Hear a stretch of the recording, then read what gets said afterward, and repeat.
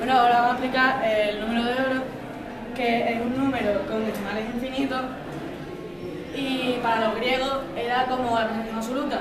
Y muchos escultores lo, han puesto para su para su o, o para la arquitectura, como de la foto, y también lo podemos encontrar en la naturaleza.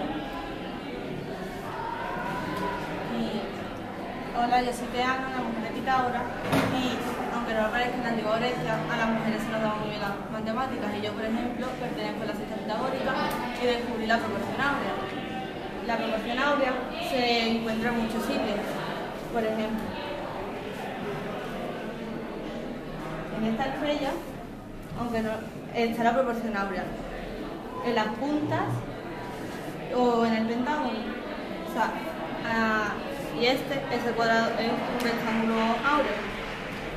Entonces, si lo pones así, se ve perfectamente que las puntas cumplen la proporción áurea.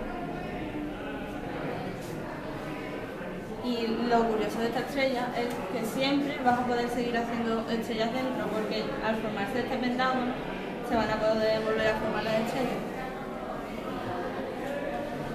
Y aparte, ¿sabéis dónde está en el pentágono este la proporción áurea? ¿Alguien? ¿Alguien lo sabe? ¿Un voluntario? ¿Un voluntario que, para decir dónde está la proporción áurea aquí?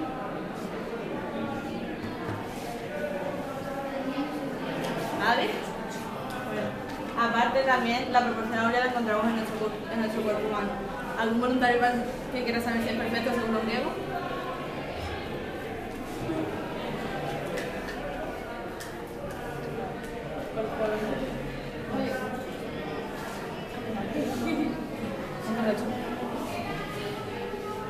Esto se hace más fácil así.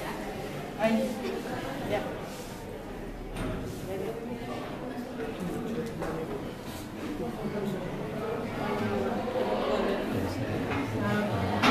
Sí, eso era Marisa. No, no, el cartel como el otro grande, el cartel de la jornada.